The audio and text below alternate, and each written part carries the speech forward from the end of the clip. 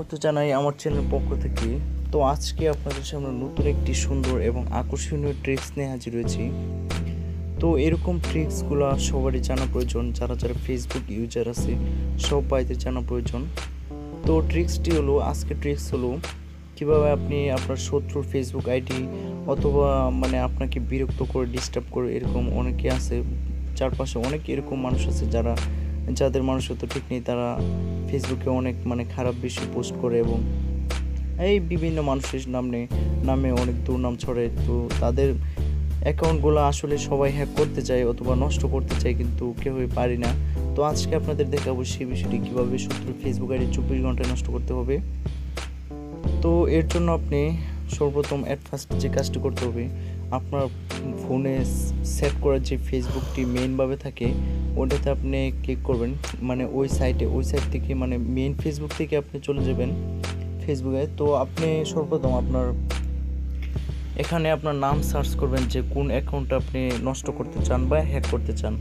তো আপনি এখানে সর্বপ্রথম সার্চ করবেন। তো আমার যে ফার্স্টে যে নামটা আছে, এটাই আমার মানে একটু মানে সমস্যা।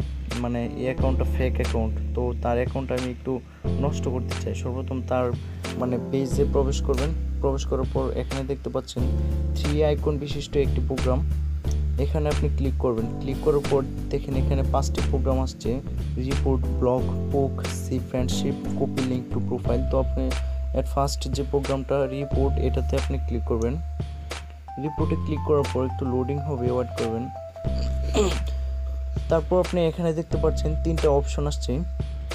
তিনটার মধ্যে এই যে ফার্স্টটা হচ্ছে report some something share by Ashiq তো এটা আপনি ফার্স্টটা দিবেন না সেকেন্ড রিপোর্ট দিস প্রোফাইল সরাসরি আপনি তার প্রোফাইল হ্যাক করবেন মানে প্রোফাইল নষ্ট করবেন, তাই সরাসরি তার প্রোফাইলে রিপোর্টটা করতে হবে। তো আপনি প্রোফাইল রিপোর্ট দিস প্রোফাইলে ক্লিক করবেন। তারপর এখানে দেখেন আপনি ছয়টি প্রোগ্রাম এসেছে।